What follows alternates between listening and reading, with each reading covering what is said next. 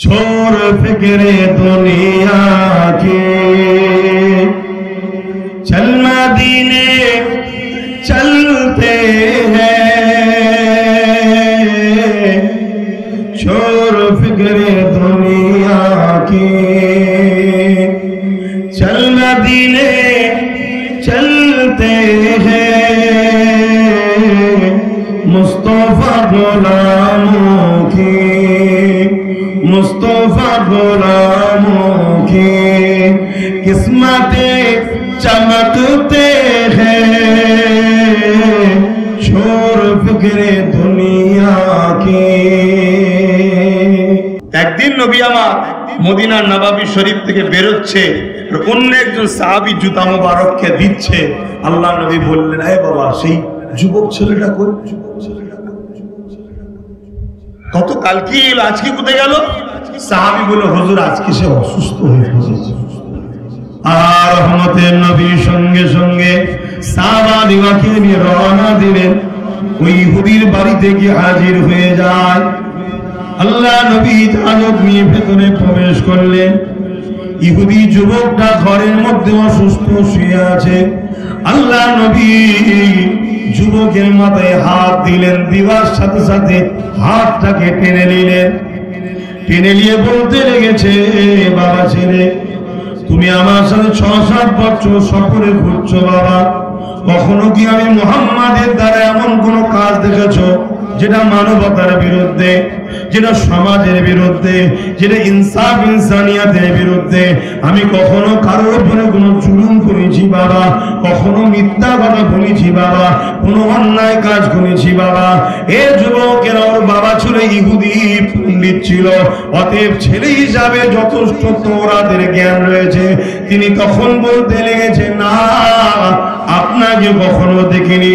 আল্লাহ নবী আবার বলেন, আমি কি কখনো তোমাকে কোনো বিষয়ের উপরে ফোর্স করেছি, জোর করেছি কি? বা কোনো জিনিসকে চাপিয়ে দিয়েছি, বাবা? ওই যুবকটা বলতে লেগেছে জি না রাসূলুল্লাহ, হাবিবাল্লাহ, না, আপনি করেন নে। আল্লাহ নবী বললেন, বাবা ছেলে তুমি আমায় ভালোবাসো।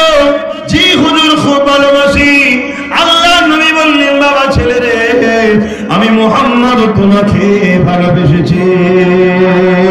তবে বাবা, একটা শুধু আমাকে সুযোগ দাও। আমি মোহাম্মদ জানিয়ে দিই, কবর থেকে জান্নাতে নিয়ে যাওয়ার জন্য জামিনদার হয়ে যাব। বাবা, একটা সুযোগ আমাকে দাও বাবা।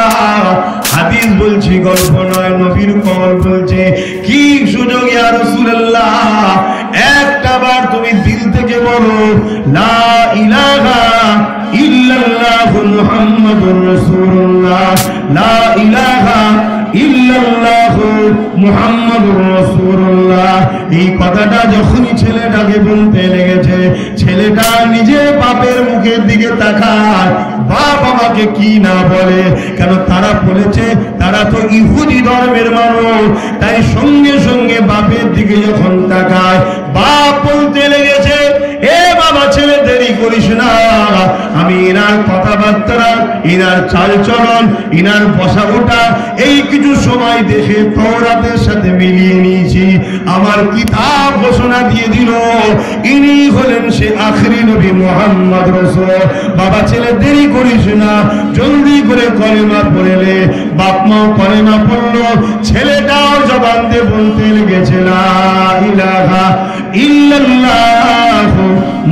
মুহাম্মাদুর রাসূলুল্লাহ। কলেমা পড়া শেষ হয়ে গেল। আর ছেলেটা রূহ মুবারকটা দুনিয়ার জমিন থেকে বেরিয়ে চলে গেল। এ আর ইহুদি ঘরের যুবক এ আর সাধারণ যুবক নয়। এই যুবকটা এখন কস পা খাজা মঈনুদ্দিনের থেকে বড় সম্মানিত সাহাবী হয়ে গেছে। আরও জোরে বলুন, সুবহান এনার নসিবটা চমকালো কে আমার রসুল চমকে দিলেন জোরে নবীকে চমকাবার ক্ষমতা দিয়েছেন কে